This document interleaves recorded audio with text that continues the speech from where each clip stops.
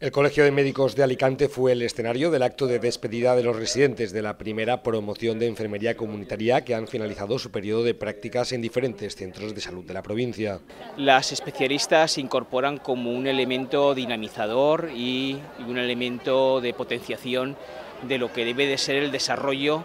de la atención eh, comunitaria y de la atención de enfermería comunitaria en la sociedad y en la comunidad durante el acto en el que compartieron protagonismo con la 31 promoción de Medicina Familiar y Comunitaria, los residentes recibieron la orla de esta primera promoción, una especialidad que llega para aportar un valor añadido a la atención que enfermeras y enfermeros ofrecen a sus pacientes. Jo sempre he treballat en equip, és molt, molt important, sobretot perquè dona una eixida als problemes de salut del pacient de forma integral perquè moltes voltes el metge té una visió, l'enfermera té una altra, quan treballen de forma conjunta la solució sempre és millor, perquè suma la decisió i l'abordatge que té el pacient moltes voltes complexe. El reto de la enfermería familiar y comunitaria se centra en ofrecer una atención que vaya más allá de la asistencial, enfatizando en la promoción de la salud y la prevención de las enfermedades. La especialidad ha sido dos años muy especiales que hemos, en las que hemos recibido formación muy dura. Eh,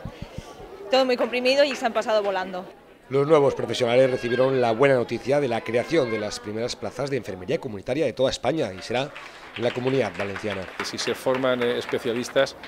de una forma o de otra va a quedar luego cabida en el sistema sanitario. Eh, si nos estamos, por un lado, frustrando a toda la gente que está invirtiendo un tiempo y un dinero en su formación y por otro lado, que lo más importante, estamos privando a la sociedad de unos recursos especializados que en este caso les van a brindar unos cuidados muy importantes. El acto finalizó con una gran foto de familia de los profesionales que han finalizado su periodo de prácticas y ya están en disposición de incorporarse al mercado de trabajo.